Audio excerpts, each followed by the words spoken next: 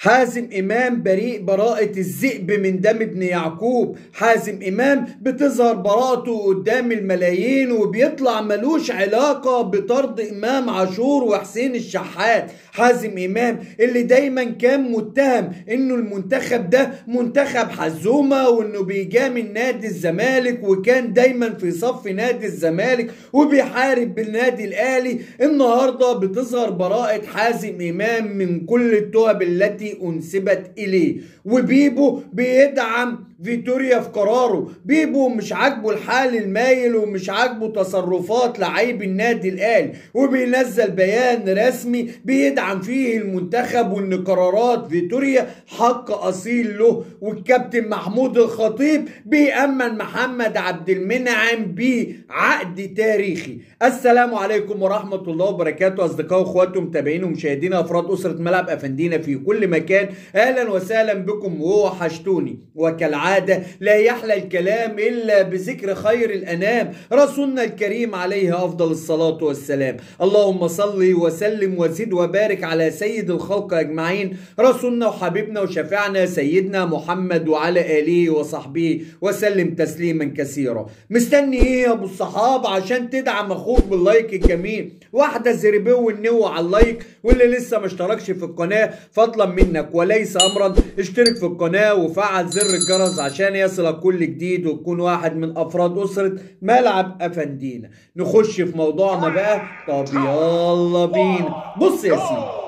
حازم إمام كان دايما جمهور النادي الأهلي والسوشيال ميديا الأهلاوية وحتى قناة النادي الأهلي الرسمية كانت بتنتقد حازم إمام وبتوجه له اتهامات لاذعه حازم إمام بيدعم نادي الزمالك. حازم إمام بيستغل المنتخب من أجل مصلحة نادي الزمالك. حازم إمام بيخلص تاره من النادي الأهلي بالمنتخب. حازم إمام هو السبب واللي أكل الجبنة حازم إمام هو السبب واللي طرد إمام عاشور وحسين الشحات. الشحات من المنتخب عشان يبقى فيه ضجة إعلامية ويداروا على موضوع أحمد أبو الفتوح عشان يثبت العكس. يعني إيه يثبت العكس؟ يعني تظهر براءة حازم إمام ويطلع حازم بإمام بريء براءة الذئب من دم ابن يعقوب. لما يبقى حازم إمام ما كانش موجود أصلا ساعة المشهد بتاع إمام عاشور وحسين الشحات يبقى حازم إمام بريء. لما يبقى الجهاز اللي متركب على كل لعيبة المنتخب متوصل على لابتوب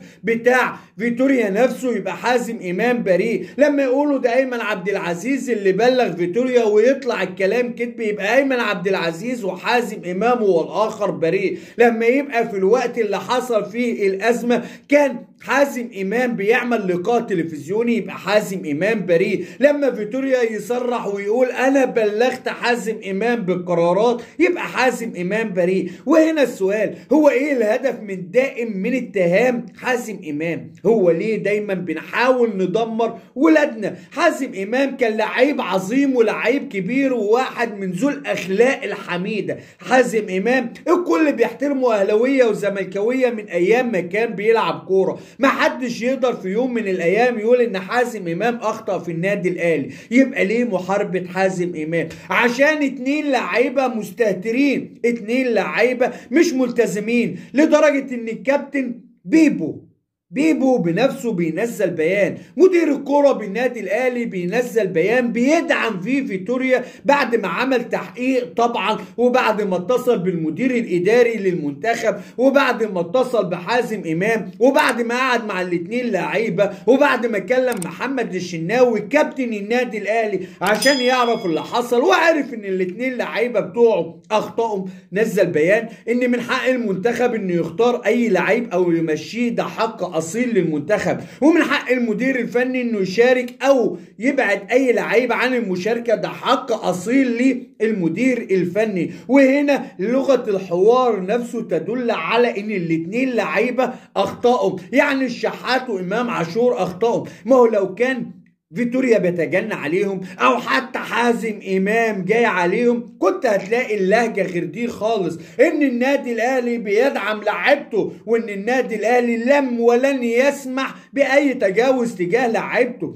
إنما يكون إن البيان يبقى في صف فيتوريا هنا تعرف على طول إن الاتنين لعيبة دول أخطائهم. وأكبر دليل على إن الاتنين لعيبة دول أخطائهم وارتكبوا جرم حقيقي في حق المنتخب وفي حق الشعب المصري إن الكابتن محمد الشناوي المحترم قعد مع الاتنين لعيبة قبل ما يمشوا ويغادروا من المعسكر وقال لهم خشوا اعتذروا للراجل خشوا اعتذروا لفيتوريا لأن أنتوا أخطأتم وخطأكم لا يمس بمبادئ النادي الأهلي بصلة. خشوا اعتذروا وعشان الأمور تهدى لما تعتذر دلوقتي الأمور هتهدى. ردوا عليه وقالوا له يا كابتن إحنا هنبقى نعتذر بس يومين ثلاثة أسبوع 10 أيام ما يجراش حاجة يعني. هو إيه اللي هيجرى يعني يا كابتن؟ شنو يا إنه؟ ما تعدي الأمور. معنى كده إن الاثنين لعيبة عارفين إنهم اخطائهم وإن الاثنين لعيبة كان واجب عليهم الاعتذار من وجهة نظر كابتنهم. معنى كده إن حازم إمام بريء براءة الذئب من دم ابن يعقوب وإن الكابتن محمود الخطيب اللي كلف بيبو إنه يعمل تقرير ويقدمه له عن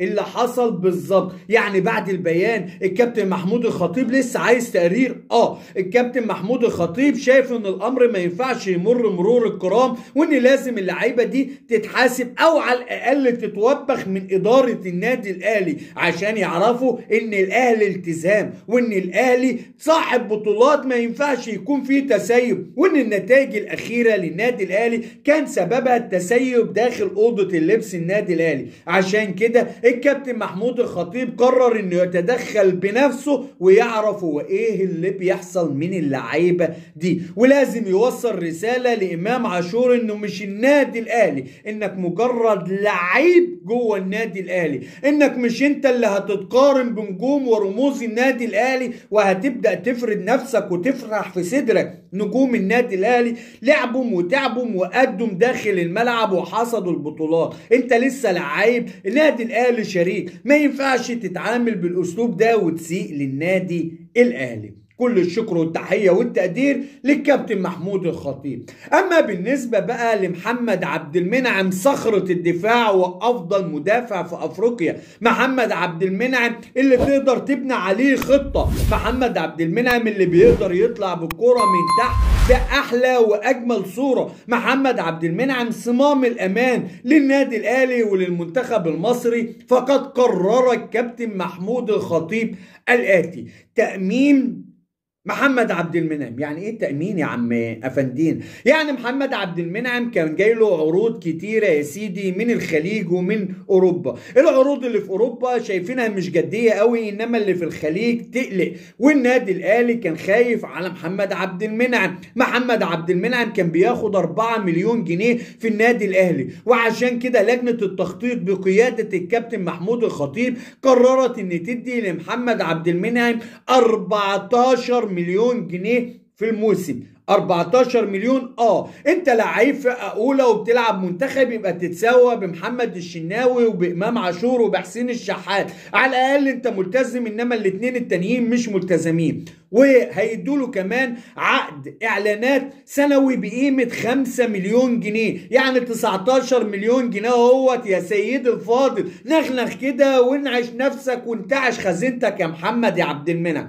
ده غير إن بيتشال من على محمد عبد المنعم نسبة المشاركة. يعني محمد عبد المنعم لعب ما لعبش ياخد الفلوس دي. وبالفعل يستحق محمد عبد المنعم إن النادي الأهلي يقدره لأنه هو فعلا أفضل مدافع في أفريقيا. قرار محترم من إدارة محترمة بتبحث دائما على مصلحة النادي الأهلي. ولحد هنا بينتهي حلقتنا ويا رب تكون الحلقة نالت إعجابكم ويا رب نكون دايما عند حسن ظن سيادتكم. واللي لسه ما دعمش أخوه باللايك. مستني إيه؟ عشان تدعم أخوك باللايك الجميل واللي لسه ما اشتركش في القناة فضلا منك. وليس امرا. اشترك في القناة وفعل زر الجرس عشان يصلك كل جديد وتكون واحد من أفراد أسرة ملعب افندينا